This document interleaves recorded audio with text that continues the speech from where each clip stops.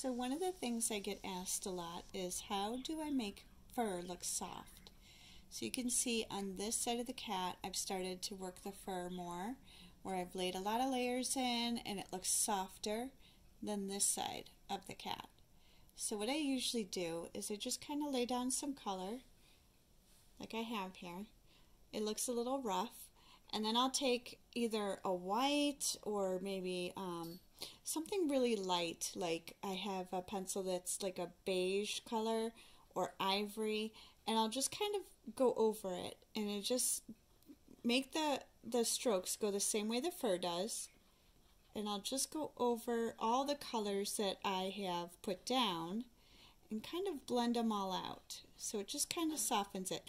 And I'll do this several times throughout a drawing. So I'll get a layer in don't mind my son, he's playing his video games. I will get a layer in, I'll get some layer of colors down, and then I just put the little first strokes in right over the top. And I'm using fairly hard pressure. I'm not pushing real hard, but definitely more than just a soft touch. I usually use the soft touch for these these layers, the initial layers but you can see how it's softening it. And what happens is it does mute the color down. It takes some of that vibrancy out. And so then I'll go back in and add some more color. And as I do this, um, it just gets more of a softer and softer, softer look as I, as I get the layers on. And really, that's how I do it. Now, if I wanted to show fur that was a little more coarse, coarse um, I wouldn't I wouldn't go over it like this. I would leave it kind of scraggly looking. But I really want this cat to be fluffy and soft, like you could reach out and pet it. So that's how I do it. Now, always remember too, lighter colors will pull things forward and darker colors will recess them. So if I have fur that's behind something, like in this case right here, this white tuft of fur, the white is going to be in front. It's going to lift forward and look like it's it's closer to you than the shadows will, the darker colors underneath.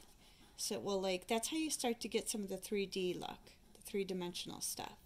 It's just by creating those shadows and creating the white or the lighter colors next to it, the midtones. So if I just go over this, It'll soften it down and then I will go back in and as I do my layers I won't use the white as often and I won't use it as with such hard pressure because I'll want those darker colors to, to be seen. I want them to kind of pop through. Um, but this is the, like the, on this side of the cat, this is the initial first layers. So it's okay to go ahead and put some pressure down. You don't want to put too much pressure down because then the tooth of the paper will be gone and it will be really hard to lay some more layers in on top. Um, but you can definitely, definitely get a little pressure going. You can see how that's, see how that's looking softer already? Just with that one. Now here I've got this, the, on the white is like this really pretty um, yellow brown color.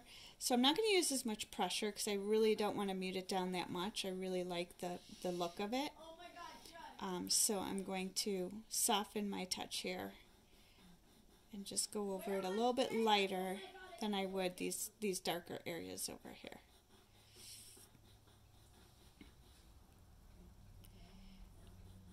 Right here I can and what it's doing is it's bringing the white fur forward and taking those other colors and pushing it back. And like I said, um, I would do. I'm going to do this a couple times and really build those colors and those layers up.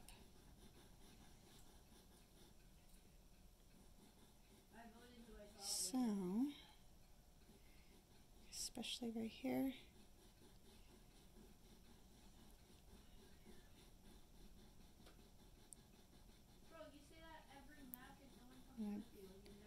Put the white right over here. It's like it's it's very subtle looking. It's like the darker colors are peeking through the white fur. So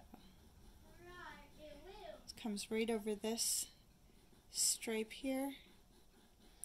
And then the really the finishing layers is where you start to get real um, real detailed with individual pieces of fur and stuff and I'll show you that in a minute. So I'll go back over here and I'm going to add my some color back in. Not everywhere. I don't need to do it everywhere, just in some spots where I want it darker. So let me bring the reference photo over and I can show you. So for example, um, right, uh, do I want it here? Right in here, like right in this section, it's darker. See this? So I can go ahead, but it's real light over here. So I can, now that I've muted this out, and actually this needs to be even lighter. So I'll go back in and really mute this down with the white. You can darken this, which will instantly, if I, when I go and darken this, it'll instantly make this look lighter just by adding some dark there. It's got a little brown in it, so we'll use the um, burnt sienna. So if I go in and start to add some more color in here, it's going to make this look lighter. See that? Now I'm using light pressure when I'm adding my color and I'm just putting it in spots. I'm not trying to like create a box or, you know, uh, I want it irregular looking. It's fur, so I don't want it all straight and perfect. So just by adding a little darkness here, uh, it lightens this area just by doing that. So I don't necessarily have to make this lighter. So sometimes it's just a matter of going back in with some darker pencils and making that more more of a contrast, getting those shadows in there, those darker areas. And then you don't have to worry about getting it any lighter there. So, and then up in here, I'm going to go ahead with this and just start to add some more of these, some more of the color in here. And again, as I do this, I'm keeping my strokes kind of apart. I don't want them, like I said, I call it tiny soldiers. What you don't want to do is this. You don't want to do straight, straight strokes right next to each other going across, right? That's not really how fur or hair works. You want to have it irregular, like I'm doing here. So you can leave spaces, gaps in between your strokes. Um, and I'm trying to find where I am, sorry. Um, and you want different lengths.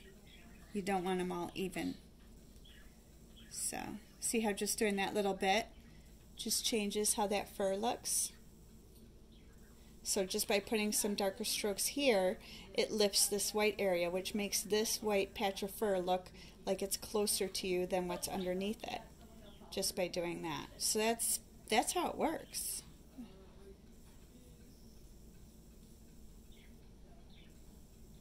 All right, so that's all I've got. I'm going to um, come back in a little bit and show you over here, I started to add the individual pieces of fur. Can you see that right here? Some of these white pieces. Now this isn't the last step. This is just like a mid-step, I guess. Because I'm gonna, what I'm going to do is really um, pull these out more. I'm going to go around them with some color to really define them more, to make them come forward more, like that. Um, so I'm going to go ahead and def define those more, and I still have a lot of work. I don't know if you can see it. See these spots here on the paper? I still have a lot of covering to do. That's paper coming through, so I still have a lot of layers to lay in here yet, even though even though I could get away with leaving it this way and say it's done. But I don't like that, so I still have quite a bit to do on this side, even though it looks far more finished than that side. And the face, of course, is starting to look really fabulous, but still have some work to do there. But that's how I do soft fur. Thanks, guys.